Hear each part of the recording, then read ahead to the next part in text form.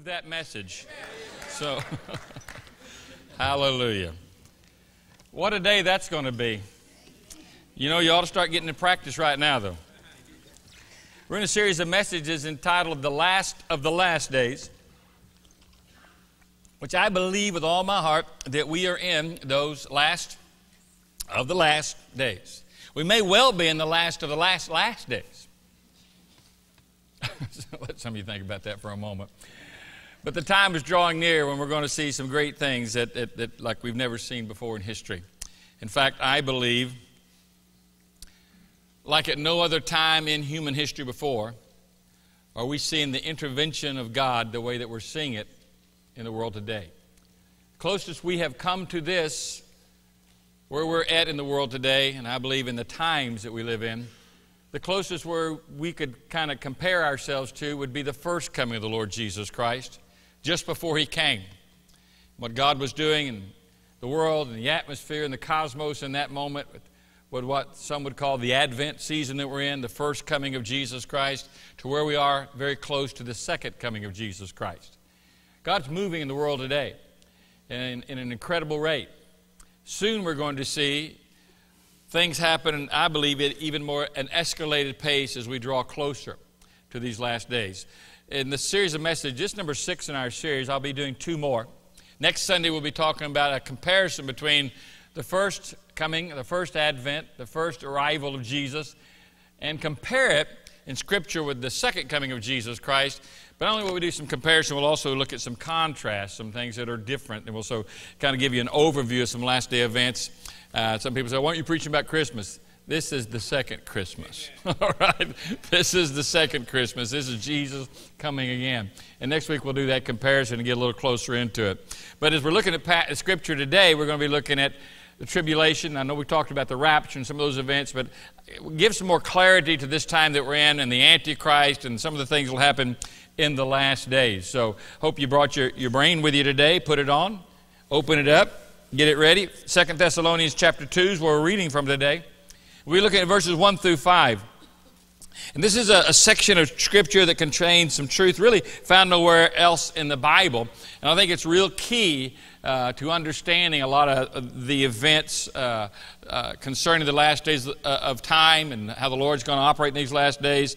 And is central, obviously, to the letter that Paul was writing he's kind of builds everything to this moment as he's writing this, this letter to the Thessalonians, his second letter, by the way. He says, Now we request you, brethren, with regard to the coming of our Lord Jesus Christ and our gathering together to him, that you may not be quickly shaken from your composure or be disturbed either by a spirit or a message or a letter as from us as to the effect that the day of the Lord has come. goes on to say, Let no one deceive you.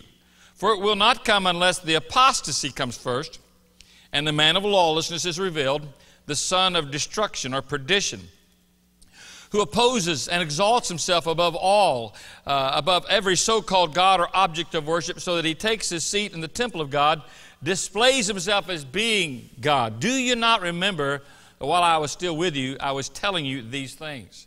In fact, you can even go to his first letter where he's telling them these things. In 1 Thessalonians chapter 5, about the first 11 verses of that chapter, he's reviewing some of the events of the last days. And I want you to know the day of the Lord is going to come. And when he comes, he's going to come like a thief in the night. And people are going to be saying peace and safety, and sudden destruction is going to come upon them. So he's laying out some information, some more information about these days. He's already spoken to them. He said, When I was there, I spoke to you about this. Now I've written to you twice about this. Now, why is he focusing on this with the Thessalonians? Because there was a lot of confusion. In fact, there's this real state of confusion they were living in in regard to the return of the Lord Jesus Christ. You know, he, he had instructed them concerning this time. In fact, he said, concerning the day of the Lord is the terminology he, he used and when he spoke to them in person and now writing them twice. In fact, the day of the Lord is, is, is, a terminology that they should have been very familiar with. It's a period of history mentioned in the Old Testament during which God is going to bring judgment upon all the nations and upon the end of time, followed by great millennial blessings from the Lord Jesus Christ during that millennial reign. You know, it's, it's, it's a dr- dr- dramatic time, it's a drastic time, but also a glorious time as it ends up. He, he dealt with that in Isaiah. He talks about the day of the Lord. In Zephaniah, he talks about the day of the Lord. Uh, from other New Testament re- revelations, he's using that same terminology about the day of the Lord. When is the day of the Lord? I believe the day of the Lord is that period of time right after the rapture of the church that includes the tribulation, the judgments, the vials, the wrath that comes, and then on into the millennial reign. Now, in his first letters, I said, when Paul taught them, he, he mentions the day of the Lord then and talks about what would happen. But something else has gone on in the midst. Somebody has gotten on the scene in Thessalonica and began telling everybody uh, we're in the tribulation. The tribulation's come, and now we're in the midst of it. And you can kind of understand that because the Lord had talked about tribulation times and difficult days, and you know, a lot of people don't can't separate the the uh, difference between persecution of the saints and the tribulation time. Saints have gone through persecution for centuries, all right? First century church went through tremendous persecution. And because they saw this persecution going on, a lot of people are saying, hey, we're, in the, you know, we're in the middle of the tribulation. This is it. People are losing their lives. The Romans are killing people, They're dragging people out of their homes. This is it. This is tribulation. But it wasn't the tribulation. In fact, I remember one of my first trips to Bulgaria, I was asked to speak to the pastor's conference regarding the second coming and just go over a general outline of the end times, kind of like what we've been doing here. And I remember about the second time I got up to preach in that conference, boy, there was a lot of stirring going on and a lot of different opinions were going on. In fact, I had one preacher get right up in the middle of my sermon and, you know, call me out on something. Uh, it was in Bulgarian, so it didn't offend me. So I couldn't understand it, but somebody translated. So what did he say? And he told me, and I basically, you know, politely asked him to sit down. I'd answer all his questions, and uh, and so we went through that. But there was a there were you know a lot of people had you know their idea of the tribulation and persecution that they had gone through were kind of mingled in, and those guys had suffered a lot under communism. Many have lost people had lost their lives. Many churches had lost their pastors. A lot of pastors had lost family members. So uh, I think the same kind of scenario is going on in Thessalonica. They felt, with all this is happening, certainly we must be in a tribulation. People are dying around here. But Jesus did say that, you know, in the last days are going to be difficult days. And he even told us those that live godly shall suffer. They're going to be suffering persecution because you live for Jesus Christ. That still goes on today. There's a great percentage of the world that's under terrible persecution for their faith and their belief in Jesus Christ that give their lives on a regular basis because of their commitment to the Lord Jesus Christ. And so the Thess- Th- it's hard to say this morning. And you need to bear with me, especially be patient today, because uh, I have all this stuff, you know, in my head. You ever get that? And then you get it all up in your ears where you can hear yourself talk. Listen, I'm going to make my sermon shorter now that I've heard myself. I've already heard myself preach once today, and it's driving me crazy. It kind of like vibrates in your ears, and but anyway, we're going to we're going to get through all that, all right. But the idea is that Thessalonians they they'd gotten this instruction from somebody, and we'll talk about in a moment how it was coming to them. And so it was just popular idea. And so Paul's writing it again. He said, "Hey, you need to understand." And he starts reminding them. Literally, he, he talks to them about four different things, and he, he kind of brings these up as, as, as, he talks to them. He said, "I'm talking to you about the coming of the Lord. I want to talk to you about the day of the Lord in verse two. And he says, "I'm going to talk to you about the apostasy that has to come over in verse three. And then through three through the last the verse we read there, verse five." 5, he, says, he talks to him about the lawless one and gives more description to the, the, the apostate leader, the Antichrist himself. So let's kind of look at this this morning and, and see how he clears up a lot of confusion. I, I really believe there's a lot of confusion even today about the coming of the Lord Jesus Christ. But if you take the time and you look at the Word, it's amazing how He simplifies so much that's in it when you take the time to study it and to read it. Let's look, He says in verse 1 Now, we, we request you, brethren, with regard to the coming of our Lord Jesus Christ and our gathering together unto him. So here he launches into the subject of the, the coming of our Lord Jesus Christ, which he'd already touched on again in, in, in chapter 1, verses 5 through 10. But he wants, he wants to correct something, and he he's, he's beseeching them that they take a moment. Let's get over the confusion. Let's see what's going on here. The coming of our Lord Jesus Christ and the gathering together unto Him. In fact, he uses two terms there as he talks about the second coming of the Lord Jesus Christ. He talks about first, he says, Hey, I want to talk to you about in regard. Uh, the translation could literally read like this on behalf of the coming of our Lord Jesus Christ. And then he uses another term, and also I want to talk to you about our gathering together unto him, which refers specifically and strategically, I believe, to the rapture, which he's mentioned in other places about our gathering together under the Lord Jesus Christ. Both of these phrases are interpreted as referring to the coming of Jesus, but he, he ties them together with this, this, the, these nouns together with an article indicating that they are two parts of one event. There's going to be this coming of the Lord Jesus Christ, and a part of that coming of the Lord Jesus Christ, of all these last days, the coming of Christ, is going to be this gathering together under the Lord Jesus Christ. And he's trying to say, you haven't missed the gathering together because this other is going to come first. These other things have to happen first. And so, you know, this parousia of Jesus making himself known, his presence is going to happen. In fact, the word there for coming is the word parousia, and it's used a lot of times in Scripture in re- referring to the Lord's appearing, where he makes himself known. In fact, the Latin equivalent to this word parousia, from the Greek language, the Latin word is, is, is a word you may be more familiar with. It's the word we get our word advent from. When people talk about the Lord's advent, the Lord's making his presence known, his first presence being manifest was the, in Bethlehem when he came as a man and took upon the form of a man. He, he was the perfect God, perfect man, perfect God, man, man, God. All right, there he was, and that was his first advent. This is a time of year when a lot of churches will celebrate what they do ad, with, with Advent. And it's kind of a, it's not a sacred ceremony such as the baptism. It's not a sacrament like the Lord's Supper, but it is something people do to practice. People say, why don't we do the Advent candles and stuff? It's just, it's nice. It's not something the Lord's told us to do, all right? Uh, it's celebratory, but it's ritual, okay? It's not necessarily what God has told the church to do. So it can be done. There's nothing wrong with doing it. It's just something that we don't do.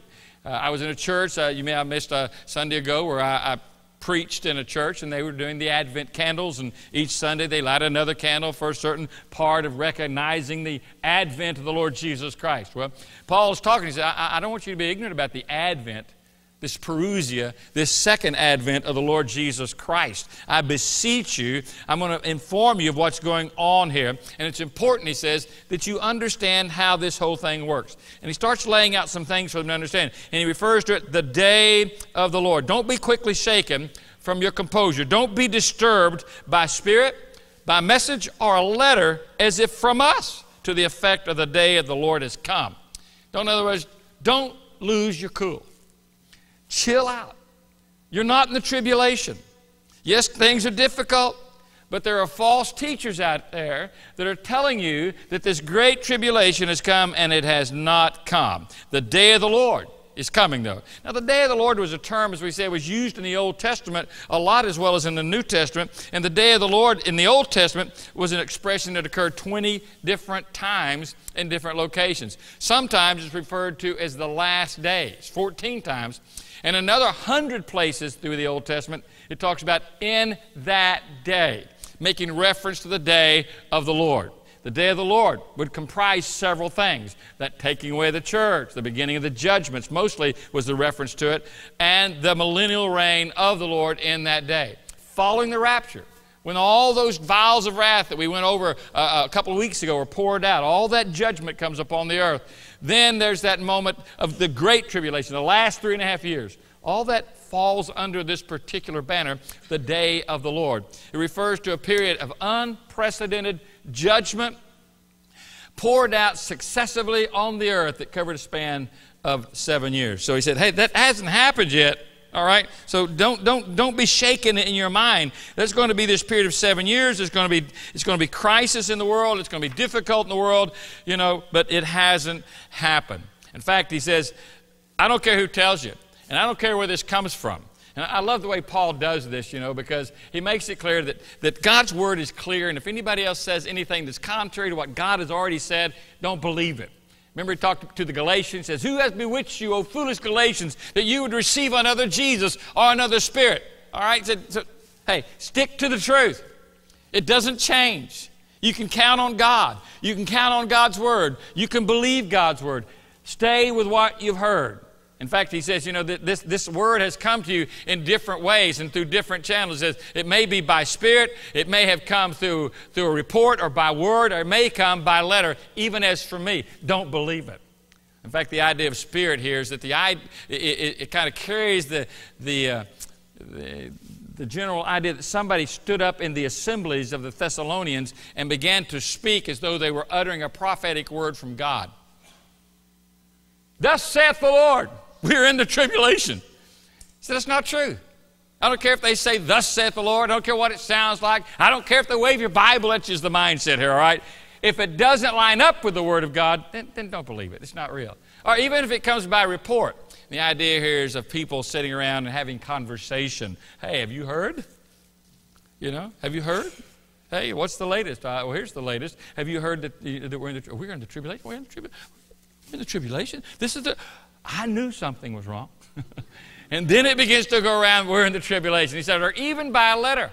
Apparently, somebody had written some letters, forged the apostle's name to him, and says, This is the truth. This is Paul speaking. He said, That wasn't me that wrote it. If you get that letter, it didn't come from me. So don't, don't think that we're in the tribulation because of anything you've heard here. He said, Because certain things are going to have to happen first.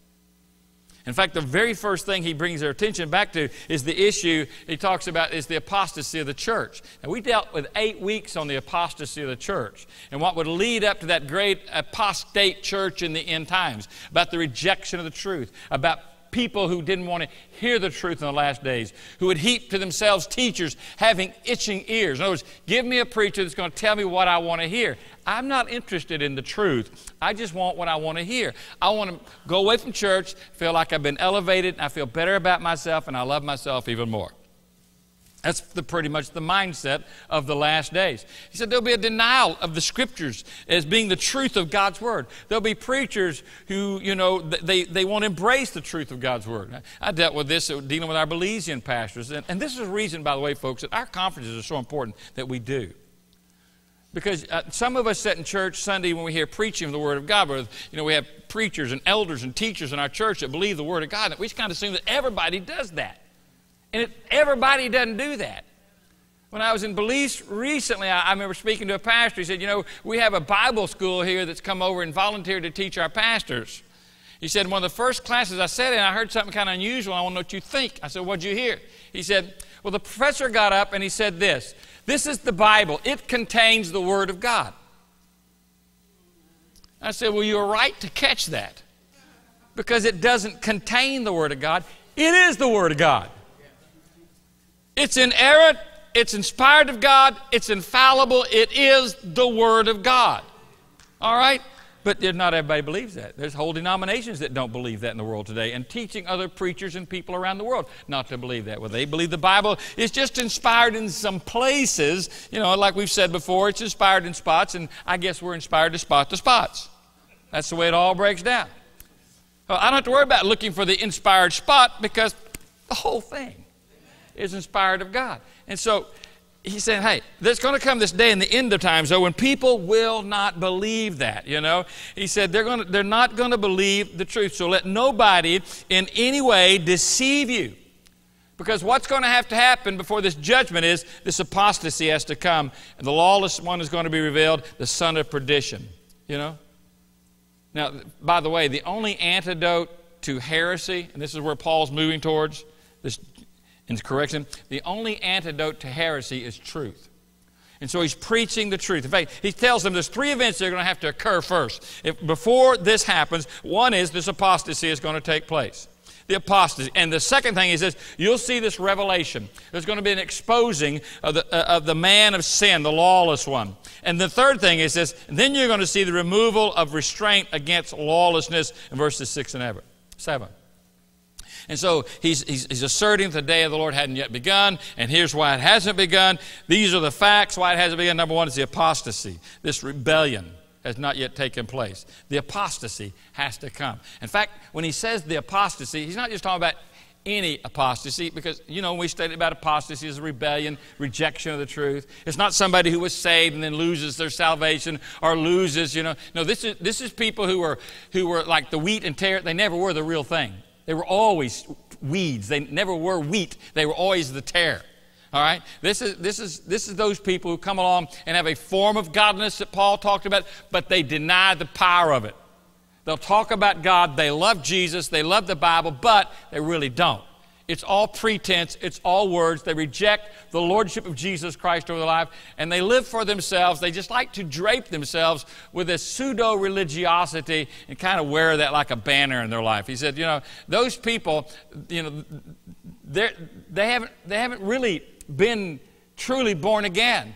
They haven't embraced the truth, so they easily fall away from the truth. They were kind of in line, but never on target, so to say.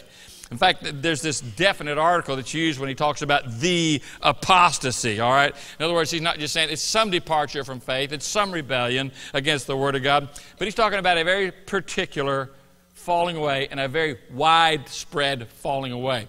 Now, that hasn't happened until recent generations, all right?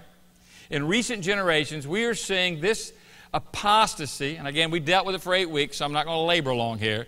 This apostasy has come to this head, and it's going to come even more so to a head in the last of days. In fact, the book of Revelation talks about, makes a reference to the scarlet whore in Revelation chapter 17. This is what Paul's talking about in 2 Timothy when he says, They will not endure sound doctrine. In other words, if you preach the truth, they will get rid of you. They want to heap to themselves teachers in accordance with their own desires people with itching ears. Well, we can see that happening today, can't we? On every hand, on every corner. Let's turn on TV, listen to radio. You see it all around us. All these people gathering in so called name of Jesus, but they really don't have any commitment to Jesus. There's this pseudo Christianity.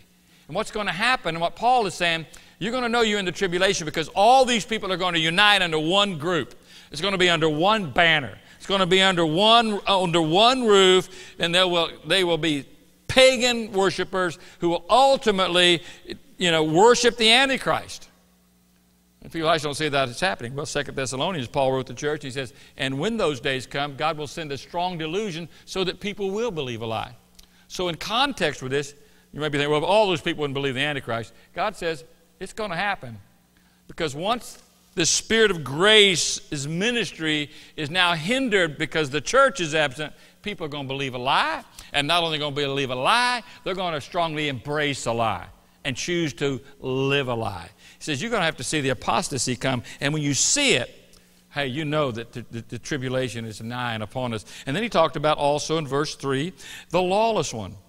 This is the event has take place. You know, right prior to the judgments of the day of the Lord occurs is this man of lawlessness.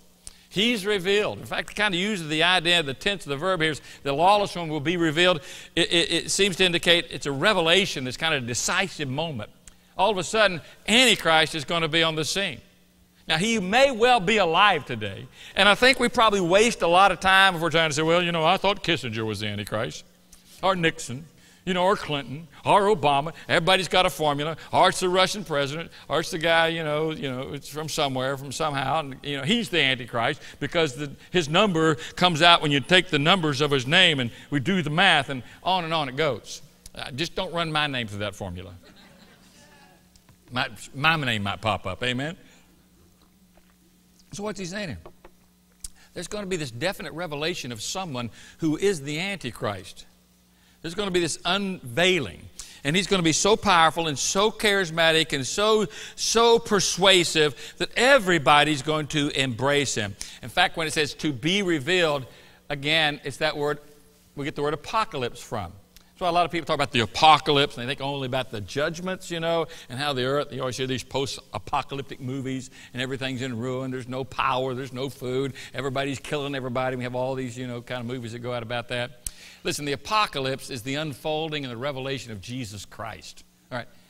He is the apocalyptic one, basically. They're going to see him east to west, north to south. They're going to know him when he arrives. He's going to appear in glory. All right?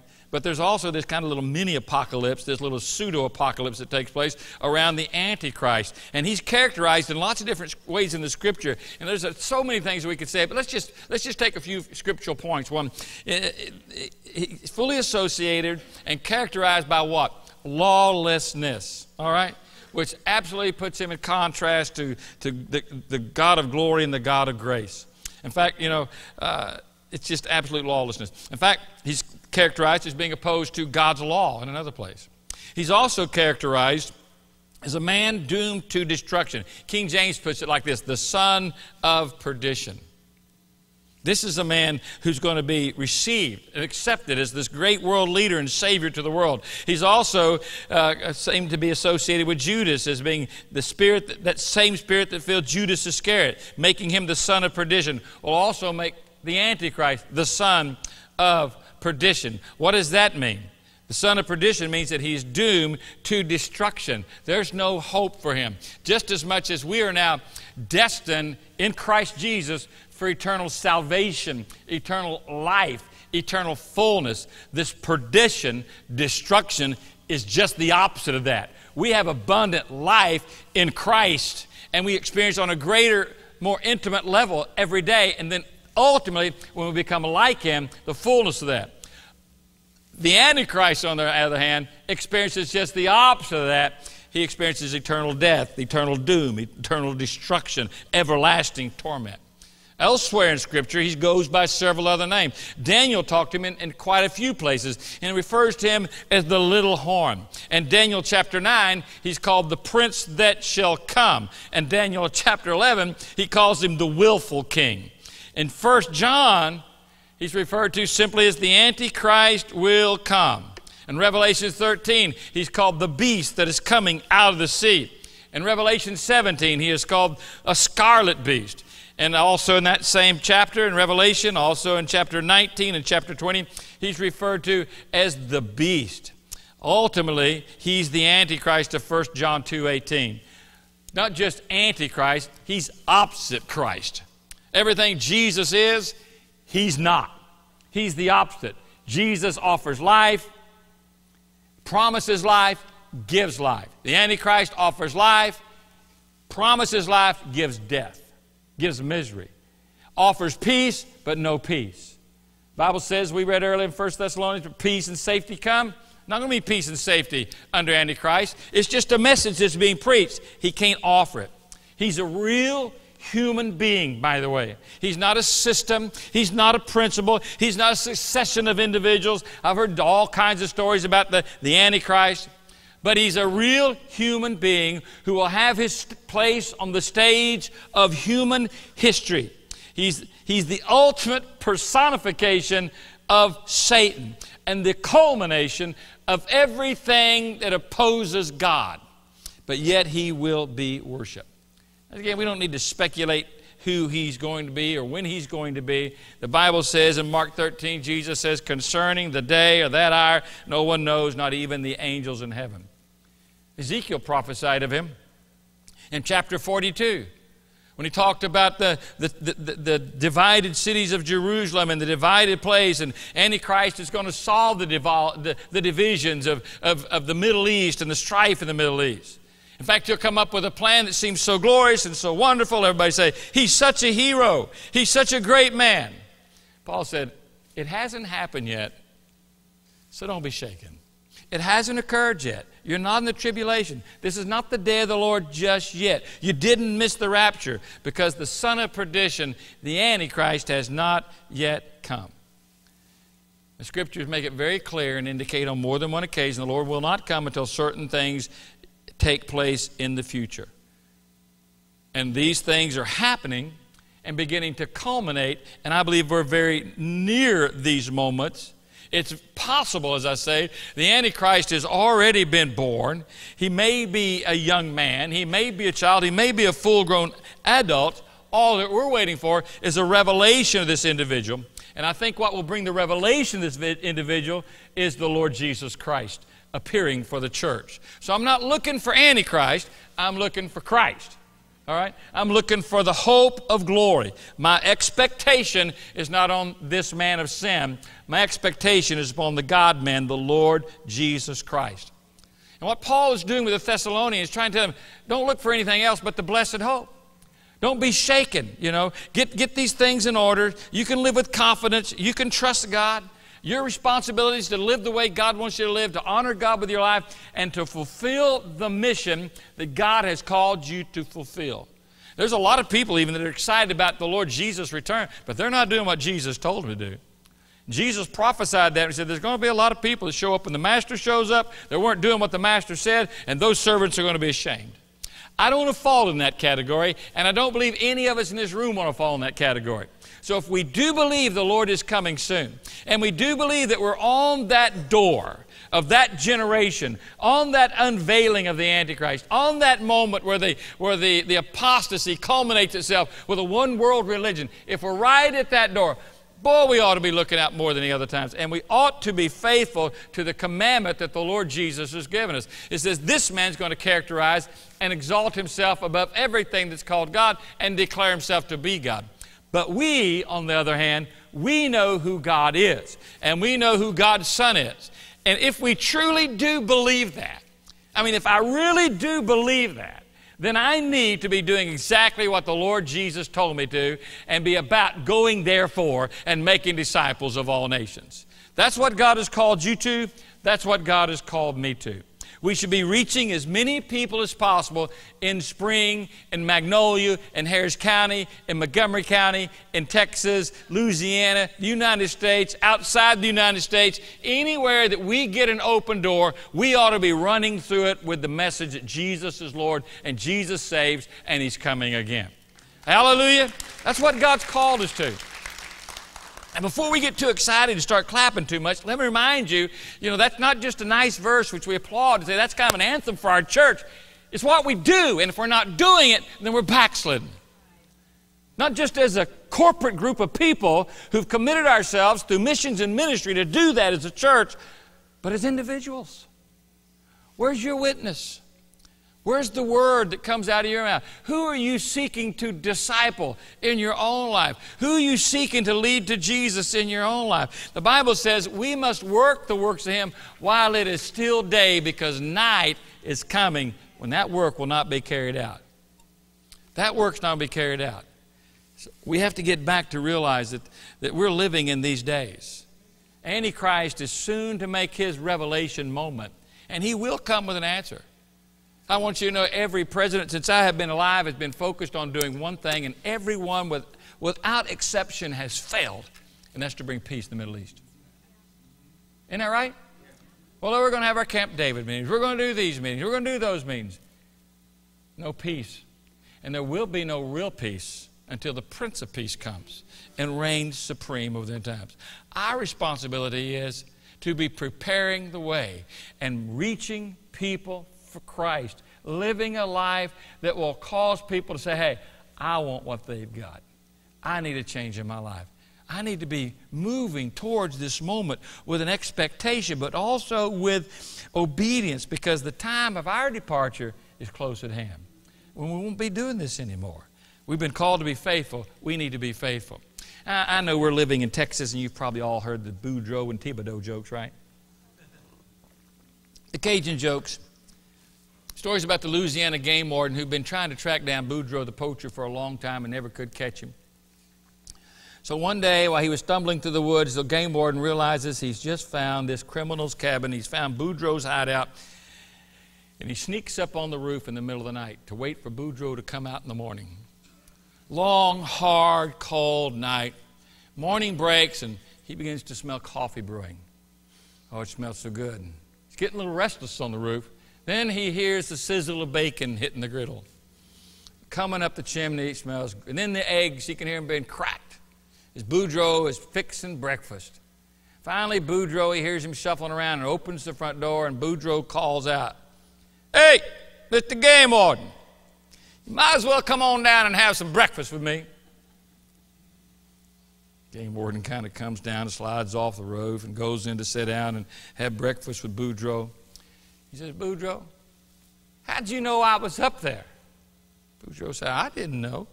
But I do that every morning just in case you are.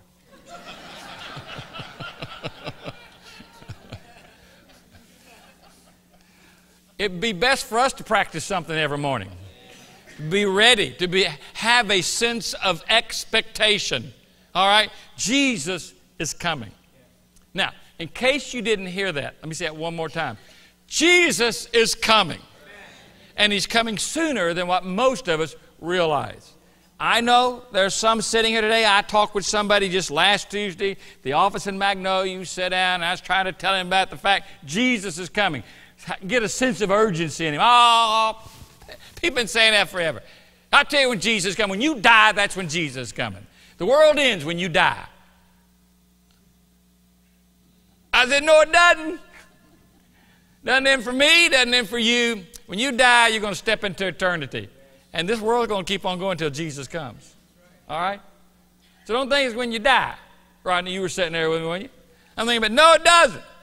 Now, let me tell you, sometimes it's just best to let things go.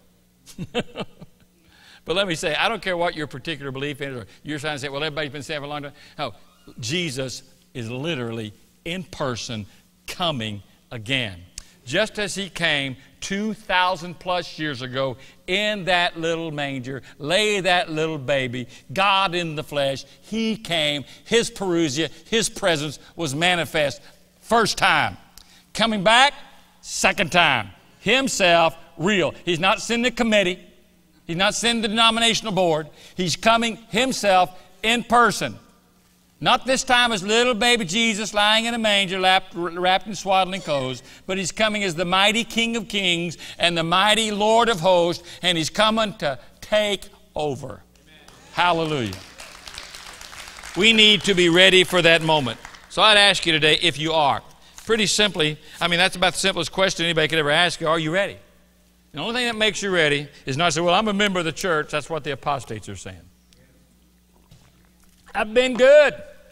My pappy was a preacher. My mama was a Bible, Bible student and a Bible Sunday school teacher. My grandpa believed the Bible. I'm not asking about your grandpa. I'm not asking about Aunt whoever. I'm asking you. As if you were the only person in this room. Can you hear the question? Are you ready?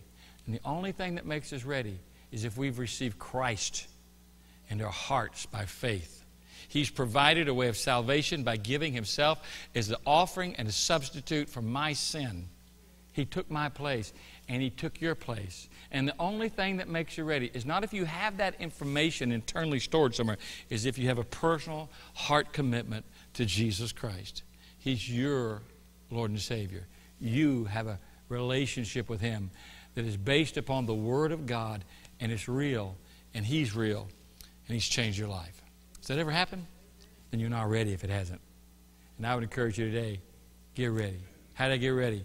Give your heart and your life to Christ today.